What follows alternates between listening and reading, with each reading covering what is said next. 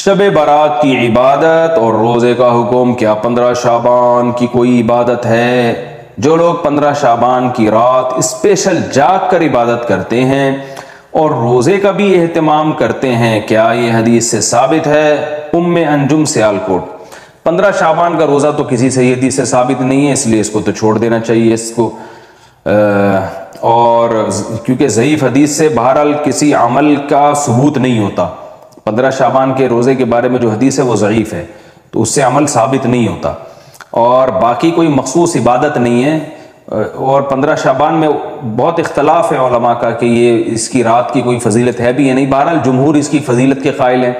तो अगर कोई इसकी फजीलत की बुनियाद पर इबादत करना चाहे तो इबादत का कोई मखसूस तरीक़ा नहीं है, जैसे चाहें इबादत करें। बल्कि मखसूस तरीक़ा ईजाद कर लेना, ये बिदत है।